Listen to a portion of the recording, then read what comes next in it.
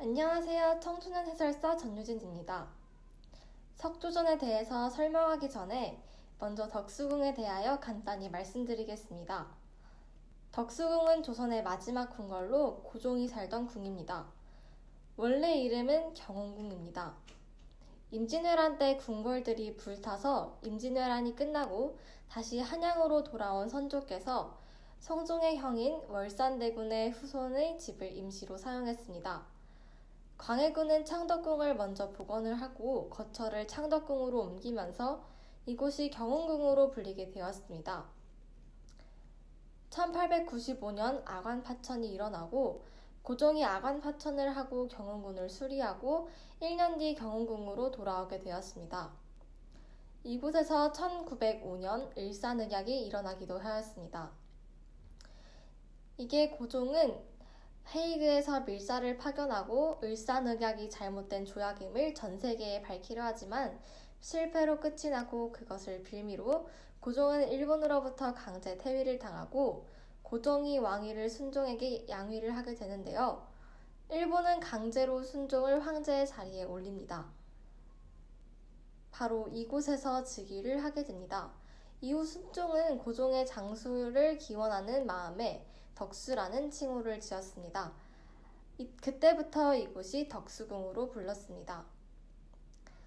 자, 그럼 이제 석조전으로 한번 눈을 돌려보겠습니다.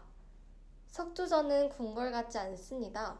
이 건물은 영국 건축가 하딩이 설계를 했고 내부에도 영국 가구를 넣었습니다. 그리고 삼각형 안에 오얏꽃 무늬가 그려져 있습니다.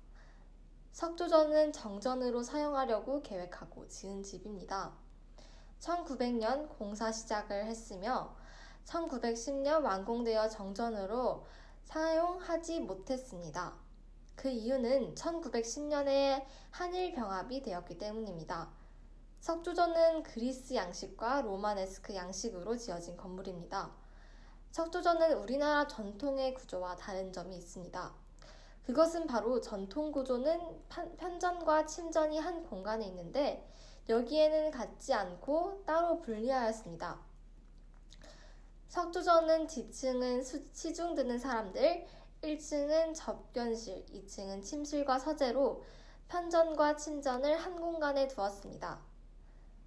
석조전은 영친왕과 이방자 여사, 숙소로 사용되기도 하였고 시대별로 이 석조전은 미소 공동위원회 회의 장소 유엔 한국 임시 미원 회의장으로 사용되다가 현재 현재 2014년에 대한제국 역사관으로 사용되고 있습니다.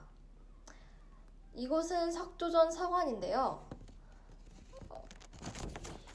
이곳은 일제 때 유물 전시를 위해 지어진 건물입니다. 현재는 국립현대미술관 덕수궁점으로 운영되고 있습니다.